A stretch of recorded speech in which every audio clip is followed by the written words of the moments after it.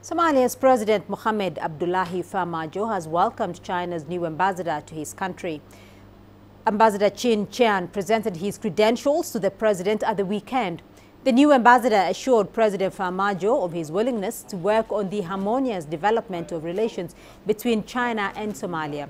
China has a long history of cooperation with Somalia. It's been responsible for several infrastructural projects, including hospitals and the national stadium.